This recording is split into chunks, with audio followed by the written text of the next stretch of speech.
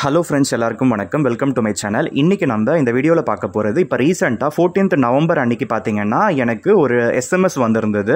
அந்த எஸ்எம்எஸில் பார்த்தீங்கன்னா எனக்கு இந்த கொட்டாக் பேங்க் மூலமாக ஒரு pre approved credit card offer இருக்கிறதா வந்து அவங்க சொல்லியிருந்தாங்க. அதனால் பார்த்தீங்கன்னா அந்த லிங்க்கு நான் கிளிக் பண்ணி நான் உள்ளே போனப்போ பார்த்தீங்கன்னா நமக்கு அந்த ஆஃபர் வந்து இருக்குது அதில் பார்த்தீங்கன்னா ஒரு சில டீட்டெயில்ஸ் ரொம்ப சிம்பிள் டீட்டெயில்ஸ் அதாவது நம்ம ஆதார் கார்டு இந்த மாதிரி ரொம்ப சிம்பிள் டீட்டெயில்ஸ் கொடுத்து அந்த பயோமெட்ரிக் அது மூலமாக பார்த்தீங்கன்னா நமக்கு வந்து அது ஆட்டோமேட்டிக்காகவே ப்ரீ அப்ரூவ்டு வந்து ஆயிருக்கு. அதனால் பார்த்தீங்கன்னா ரொம்ப சிம்பிளாக நான் ப்ரொசீட் பண்ண உடனே பார்த்தீங்கன்னா அதுக்கப்புறம் அந்த வீடியோ கேவைசிக்கு கூட பார்த்தீங்கன்னா உடனே ஒரு அஞ்சு நிமிஷத்துக்கெல்லாம் வந்துட்டாங்க. அந்த விகேவைசியில் பார்த்தீங்கன்னா அவங்க நம்மளை வந்து ஒரு ஃபோட்டோ எடுக்கிறாங்க. அதே போல் நம்ம ஒரிஜினல் பேன் கார்டை வந்து காமிக்க சொல்கிறாங்க அந்த பேன் கார்டை கூட பார்த்தீங்கன்னா அவங்க வந்து வெரிஃபை பண்ணிவிட்டு ஸ்னாப் எடுத்துக்கிறாங்க. உடனே பார்த்தீங்கன்னா வெரிஃபிகேஷன் வந்து சக்ஸஸ் ஆகுது. உங்களுக்கு இதுக்கு மேலே வந்து நம்ம அப்ளிகேஷன் வந்து என்ன ஆச்சுன்னு சொல்லிட்டு கேட்கறதுக்கு அந்த கஸ்டமர் கேர் நம்பர் கூட பார்த்தீங்கன்னா சாட் செக்ஷனில் வந்து போட்டிருந்தாங்க. ரொம்ப சிம்பிளாக ஜஸ்ட் ஒரு ஃபிஃப்டீன் டு டுவெண்ட்டி மினிட்ஸில் பார்த்தீங்கன்னா அப்ளை பண்ணி முடிச்சாச்சு. அப்ரூவலும் ஆயிடுச்சு. வித்தின் டூ ஹவர்ஸில் பார்த்தீங்கன்னா நம்ம மெயில் ஐடிக்கு வந்து பார்த்தீங்கன்னா அந்த விர்ச்சுவல் கார்டு வந்து ரெடி ஆயிடுச்சுன்னு சொல்லிட்டு ஒரு மெயில் வந்து வருது. அந்த மெயில் ஓப்பன் பண்ணி பார்க்குறப்ப நம்ம அந்த விர்ச்சுவல் கார்டு வந்து நம்ம உடனே வித்தின் டூ ஹவர்ஸ் அப்ளிகேஷன் நம்ம ஸ்டார்ட் பண்ண உடனே பார்த்தீங்கன்னா அடுத்த டூ ஹவர்ஸ்க்கெல்லாம் நம்ம அந்த கிரெடிட் கார்டு யூஸ் பண்ணுற மாதிரி வந்துடுச்சு. இது அன்ஃபார்ச்சுனேட்லி பார்த்தீங்கன்னா நான் வந்து தெரியாதனமாக இந்த பிளாட்டினம் லீக் கிரெடிட் கார்டு வந்து நான் அப்ளை பண்ணிட்டேன். அதுலேயே பார்த்தீங்கன்னா எனக்கு ப்ரீ அப்ரூவ்டில் ரூபே ஆஃபரும் இருந்தது. நான் இப்போ உடனே இதை அப்ளை பண்ணி அப்ரூவல் ஆனதுனால இப்போ அந்த ரூபே கார்டு வந்து என்னால் வாங்க முடியாது. அதனால் உங்களுக்கு வந்து இந்த பைசா பஜார்னு ஒன்று இருக்கும் பாருங்கள் அது மூலமாக தான் எனக்கு இந்த எஸ்எம்எஸ் வந்து வந்திருக்கும். அந்த பைசா பஜார்க்குள்ளே போயிட்டு உங்களுக்கு என்னென்ன ஆஃபர் இருக்குன்னு பாருங்கள் ஃபஸ்ட்டு பிளாட்டினம் தான் இருக்கா? ரூபே கூட இருக்கான்னு. ரூபே வேரியண்ட்டு வந்து நம்ம வாங்கியிருந்தா உடனே வந்துட்டு இருக்கும். அது நான் ஜிபேயில் போட்டு நம்ம யூபிஐ பேமெண்ட் எல்லாம் கூட பண்ணியிருக்கலாம். இப்போ எனக்கு வந்தது வந்து பார்த்தீங்கன்னா நார்மல் பிளாட்டினம் விசா கார்டு தான். அதனால் இதுவுமே லைஃப் டைம் ஃப்ரீ கார்டு தான். அதனால் வாங்கி வச்சுக்கிறதுல ஒன்றும் தப்பு கிடையாது. அதனால் நான் வாங்கியிருந்தேன். ஸோ எனக்கு கைக்கு பார்த்தீங்கன்னா பதினேழாம் தேதியெல்லாம் வந்துடுச்சு. வித்தின் த்ரீ டேஸில் பார்த்தீங்கன்னா நம்ம கைக்கே வந்துடுச்சு. அதனால் பிரச்சனையே இல்லை. ரொம்ப ஈஸியாக வந்து எனக்கு கிடச்சிருந்தது. So life time free cards எல்லாம் நம்ம வாங்கி வச்சுக்கலாம். அது மட்டும் இல்லாமல் இது ஒரு ப்ரீ அப்ரூவ்ட் ஆஃபர் இந்த மாதிரி ப்ரீ அப்ரூவ்ட் ஆஃபர் எல்லாத்துக்குமே பார்த்தீங்கன்னா நம்ம இன்கம் ப்ரூஃப் எதுவுமே காமிக்க தேவையில்லை. உங்கள் எல்லாருக்கும் தெரிஞ்சிருக்கும். நான் ஒரு ஒன் அண்ட் ஆஃப் இயர்ஸாக நான் எந்த ஒரு ரெகுலர் இன்கமும் இல்லாமல் நான் சஸ்டெயின் ஆகிட்டு இருக்கேன். ஸோ அந்த ஃபினான்ஷியல் பிளானிங்கில் அதுக்கேற்ற மாதிரி நம்ம பண்ணிக்கிட்டால் சஸ்டெயின் ஆக முடியும். அதே நேரத்தில் எனக்கு மந்த்லி கமிட்மெண்ட்ஸ் நிறையவே இருக்குது எவ்ரி மந்த் பார்த்தீங்கன்னா ஆயிரக்கணக்கான செலவு வந்து இருக்குது இதுக்கு நடுவில் அம்மாவுக்கு மெடிக்கல் எக்ஸ்பென்சஸ் எனக்கு மெடிக்கல் எக்ஸ்பென்சஸ் ஆக மொத்தத்தில் வீட்டுக்கு வந்து இன்டீரியர் பண்ணது வீட்டுக்கு வந்து இந்த மாதிரி எலக்ட்ரானிக்ஸ் எல்லாம் வாங்கினது இந்த மாதிரி செலவு மேலே செலவு வந்துக்கிட்டே தான் இருக்கும். அது எல்லாமே ஹேண்டில் பண்ணுற கெப்பாசிட்டி வந்து நமக்கு இருக்கணும். ஸோ இந்த மாதிரி நேரத்தில் எந்த இன்கம் ப்ரூஃப் இல்லாமல் எந்த ஒரு டைரக்ட் விசிட்டும் இல்லாமல் பார்த்தீங்கன்னா ஜஸ்ட் லைக் தட் ஒரு டுவெண்ட்டி மினிட்ஸில் அப்ரூவல் பண்ணி நமக்கு டூ ஹவர்ஸில் கார்டு கைக்கே கிடைக்குதுன்னா ரொம்ப பெரிய விஷயமா இருக்குது ஸோ இதுக்கேற்ற மாதிரி நீங்கள் சிபில் ஸ்கோரில் நல்லா மெயின்டைன் பண்ணிங்கன்னா இந்த மாதிரி ப்ரீ அப்ரூவ்ட் ஆஃபர்ஸ்லாம் உங்களுக்கு மேலே மேலே வந்துக்கிட்டே இருக்கும்னு சொல்ல வரேன்.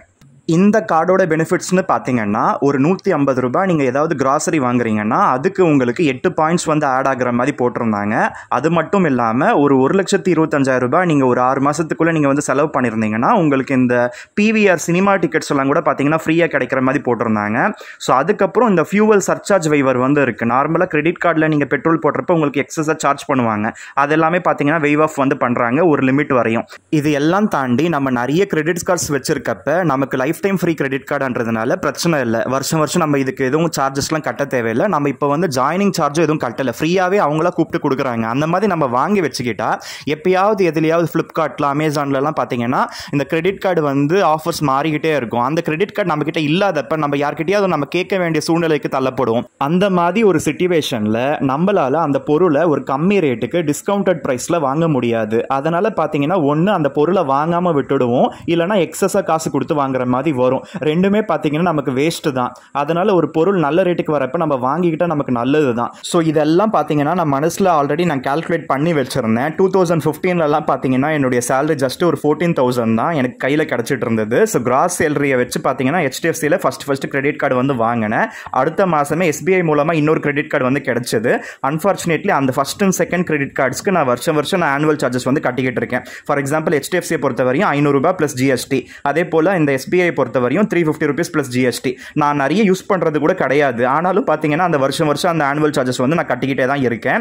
ஸோ அதுக்கேற்ற மாதிரி ஃப்ரீ கார்ட்ஸ் கொடுக்குறப்ப நம்ம வாங்கி வச்சுக்கலாம். எனக்கு அந்த காலகட்டத்தில் ஒரு சிலர் பார்த்தீங்கன்னா நிறைய கார்ட்ஸ் வச்சுருந்தாங்க. அவங்க எல்லாமே பார்த்தீங்கன்னா ஒரு பெரிய பொசிஷனில் இருந்தாங்க வச்சுருந்தாங்க. எனக்கு பார்த்தீங்கன்னா அவங்கள மாதிரி நானும் எல்லா பேங்க்லையும் எல்லா கிரெடிட் கார்ட்ஸ் நான் வந்து வச்சிருக்கணும்னு சொல்லிட்டு எனக்கு ஆசை இருந்தது. அந்த ஆசைக்கு ஏற்ற மாதிரி பார்த்தீங்கன்னா இப்போ என்கிட்ட நிறைய பேங்க் கிரெடிட் கார்ட்ஸ் வந்து வச்சிருக்கேன். ஸோ என்கிட்ட பார்த்தீங்கன்னா ஒரு பர்ஸ் இருக்குது அந்த பர்ஸில் இருக்க இடம் கூட பத்த மாட்டேங்குது. ஒவ்வொரு ரேக்லேயுமே பார்த்தீங்கன்னா ரெண்டு மூணு கார்டு வச்சிருக்கிற நிலமையில வந்து இருக்கேன். ஸோ இது எல்லாமே பார்த்தீங்கன்னா கண்டிப்பாக யூஸ் பண்ண மாட்டோம். லட்சக்கணக்கில் மாதம் மாதம் எவனுமே செலவு பண்ண மாட்டான். பிஸ்னஸ் பண்ணுறவனை தவிர அவன் கூட ரொட்டேஷனில் விட்டால் அவனுக்கு லாபம். அவன் வந்து வேஸ்ட்டாக அவன் செல்ஃபுக்கு வந்து அவ்வளோ செலவு பண்ணிக்கிட்டா அடுத்த மாதம் அவன் எப்படி கட்டுவான் சொல்லுங்கள் அதனால் வாங்கி வச்சுக்கிட்டா நமக்கு அந்த கிரெடிட் யூட்டிலைசேஷன் ரேஷியோலாம் பார்த்தீங்கன்னா கம்மியாக இருக்கும். அப்படி கம்மியாக இருக்கப்ப நம்ம நிறைய யூஸ் பண்ண மாட்டேங்கிறோம்னா நம்ம கிரெடிட் அங்கிரி கிடையாது. அப்போ பார்த்தீங்கன்னா அதுக்கேற்ற மாதிரி உங்களுக்கு சிபில் ஸ்கோர்லாம் அதிகமாகும். ஸோ எப்படி பார்த்தாலுமே பார்த்தீங்கன்னா நிறைய கிரெடிட் கார்ட்ஸ் வச்சிருக்கப்ப உங்களுக்கு ஆஃபர் வந்தால் யூஸ் பண்ணிக்கலாம். அதே போல் டிஸ்கவுண்ட்ஸ் எல்லாம் கிடைக்கும். உங்களுக்கு இந்த மாதிரி கேஷ்பேக்ஸ்லாம் கிடைக்கும். இந்த மாதிரி நிறைய பெனிஃபிட்ஸ் வந்து இருக்குது ஸோ சிபில் ஸ்கோரும் அதிகமாகும். ஆனால் என்ன? ரொம்ப நாளாக பார்த்தீங்கன்னா இந்த ஜிபேயில் வந்து யூஸ் பண்ணுற மாதிரி ஒரு ரூபே கிரெடிட் கார்டு வந்து வாங்கியே ஆகணும். நம்ம கார்ட்லேயே எதையாவது வந்து மாற்றி பார்க்கலாமான்னு பார்த்தா அப்படி மாற்றணும்னா நம்ம இந்த இன்கம் ப்ரூஃபு இந்த மாதிரி இந்த பேப்பர் ப்ரொசீஜர்லாம் நிறைய இருக்குது ப்ரீ அப்ரூவ் ஆஃபர் எதுவும் கிடைக்காம இருந்தது. அன்ஃபார்ச்சுனேட்லி இந்த மெசேஜ் லிங்க்கை நான் வந்து கிளிக் பண்ணாமல் நான் பைசா பஜார்க்குள்ளே போயிட்டு என்னென்னலாம் ஆஃபர் வந்து இருக்குன்னு பார்த்துட்டு அதில் அந்த ரூபே வேரியண்ட்டை நம்ம கிளிக் பண்ணி அது மூலமாக நான் வந்து வாங்கியிருந்தேன்னா ஜஸ்ட் ஒரு டூ ஹவர்ஸில் பார்த்தீங்கன்னா எனக்கு ஒரு விர்ச்சுவல் கார்டு கிடச்சிட்டு இருக்கும். அந்த ரூபே கார்டு வந்து நான் ஜிபேயில் போட்டு விட்டுட்டு இருந்தேன்னா என்னைக்காவது ஃப்ளிப்கார்ட்டில் ஏதாவது வாங்குறப்ப கூட பார்த்தீங்கன்னா அவங்க கிரெடிட் கார்டு அக்செப்ட் பண்ண மாட்டேங்கிறாங்க. அந்த கார்டு ரீடர் கொண்டு வர மாட்டேங்கிறாங்க. அதனால் அந்த மாதிரி நேரத்தில் நம்ம அக்கௌண்ட்டில் காசு இருந்தால் தான் அந்த பொருளை வந்து நம்மளால் வாங்க முடியுது. அப்படி இல்லாத நேரத்தில் நம்ம எதுலையாவது மினிமம் பேலன்ஸ் வச்சுருப்போம் பாருங்கள் அதில் மினிமம் பேலன்ஸ் எடுத்துட்டா அதில் வந்து ஃபைன் வந்து போட்டுடுவாங்க. அதுக்கு பார்த்தீங்கன்னா மினிமம் பேலன்ஸ் மெயின்டைன் பண்ணலன்னா மாதத்துக்கு ஒரு எழுநூற்றம்பது ப்ளஸ் ஜிஎஸ்டி இந்த மாதிரி நிறையவே போடுவாங்க. அதெல்லாம் கூட இருக்குது ஸோ அதனால் ஒரு ரூபே கிரெடிட் கார்டு வாங்கியிருந்தேன்னா எனக்கு வந்து நல்லாவே யூஸ் ஆகிருந்திருக்கும் ஸோ ஜிபேக்கெல்லாம் நம்ம பண்ணுற மாதிரி வந்திருக்கும். இப்போ அது இல்லாததுனால எனக்கு ஒரு பெரிய இஷ்யூவாக இருக்குது இது நான் எப்போ சொல்ல வரேன்னா கேஷ் ஆன் டெலிவரி மோடில் நம்ம ஏதாவது வாங்குறப்ப நார்மலாக கிராசரி எல்லாம் கூட பார்த்தீங்கன்னா நம்ம போட்டு விட்டுடுவோம். அதுக்கப்புறம் நம்ம கைக்கு வந்து கரெக்டாக வந்து சேர மாட்டேங்குது. அது ஆட்டோமேட்டிக்காக பார்த்தீங்கன்னா கேன்சல் பண்ணிடுறாங்க. இந்த மாதிரி நிறைய இஷ்யூஸ் இருக்குது ஸோ ஃப்ளிப்கார்ட்டை பொறுத்த வரையும் இப்போ எங்கள் ஏரியாவில் பார்த்தீங்கன்னா அந்த கிராசரி ஓப்பனே பண்ணலை.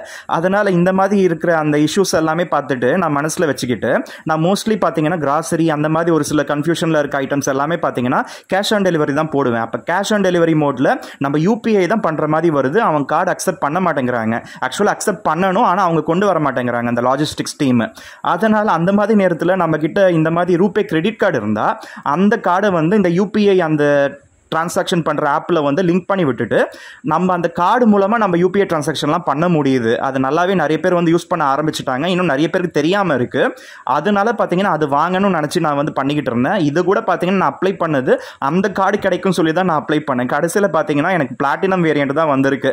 இது பார்த்தீங்கன்னா வேஸ்ட்டு தான். ரூபே வேரியண்ட் வந்து ரொம்ப கம்மியான ஒரு வேரியண்ட்னு நினைப்போம். ஆனால் அது மூலமாக நம்மளால் ஜிபே மூலமாலாம் நம்ம யூபிஐ டிரான்சாக்ஷன் பண்ண முடியுது. அதனால் அந்த பெனிஃபிட்ஸ்லாம் இருக்கிறதுனால ரூபே வேரியண்ட் வந்து கேட்டு நீங்கள் வந்து வாங்குங்க. லைஃப் டைம் ஃப்ரீ கார்டெலாம் கிடச்சா ரொம்ப பெரிய விஷயம். வாங்கி வச்சுக்கோங்க. யூபிஐ ட்ரான்சாக்ஷன்லாம் ஈஸியாக பண்ண முடியும். அதுக்கேற்ற மாதிரி அடுத்த மாதம் நீங்கள் கரெக்டாக அந்த டியூ கட்டினா தான் உங்களுக்கு லாபம். கிரெடிட் கார்டை பொறுத்தவரையும் நீங்கள் டியூ கட்டாமல் விட்டுட்டீங்கன்னா உங்களுக்கு இன்ட்ரெஸ்ட் மேலே இன்ட்ரெஸ்ட் வட்டி மேலே வட்டி போட ஆரம்பிச்சிடுவாங்க. எனக்கு இந்த கார்டில் கிடச்சிருக்க அந்த கிரெடிட் லிமிட் பாருங்கள் ரெண்டு லட்சத்தி பத்தாயிரம் ரூபாய். இது வந்து பார்த்தீங்கன்னா ஒரு டீசெண்டான ஒரு கிரெடிட் லிமிட் இந்த கார்டு மூலமாக எனக்கு ஃபியூச்சரில் லோன்ஸ் எல்லாம் கூட சாங்ஷன் ஆக சான்ஸ் இருக்குது அந்த மாதிரியான லோன்ஸ் எல்லாமே பார்த்தீங்கன்னா ஒன்று லிமிட் பேஸ் பண்ணி கூட கொடுப்பாங்க. அப்படி இல்லைன்னா லிமிட்டை கன்சிடரே பண்ணாமல் ஓவர் த லிமிட்டும் பார்த்தீங்கன்னா நிறைய இந்த லோன்ஸ் எல்லாமே சாங்ஷன் ஆகுது. அது எல்லாமே பார்த்தீங்கன்னா ஓடிபி மூலமாக ரொம்ப சீக்கிரமாக கிடைக்கிற மாதிரியான ஒரு one second loan ten second loan இந்த மாதிரியான லோன்ஸ் இது பார்த்தீங்கன்னா ஃபஸ்ட்டு ஃபஸ்ட்டு ஹெச்டிஎஃப்சியில் தான் நான் வாங்கிட்டு இருந்தேன். அதுக்கப்புறம் இப்போ எல்லா பேங்க்லையுமே கொடுக்க ஆரம்பிச்சிட்டாங்க.